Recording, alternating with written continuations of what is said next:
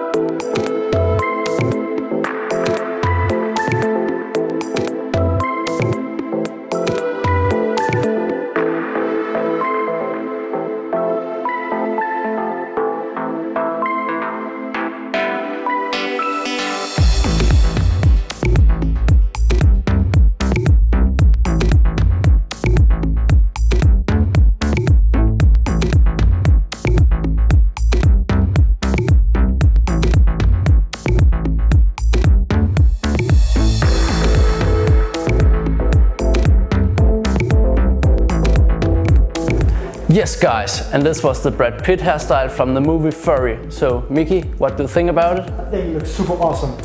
So guys, we'll be so excited to hear what you think about it. We'll leave some comments, uh, share it with your friends, and if you have some ideas to what you want to see in the next video, share it. And then we'll see you next week. Bye! See you guys.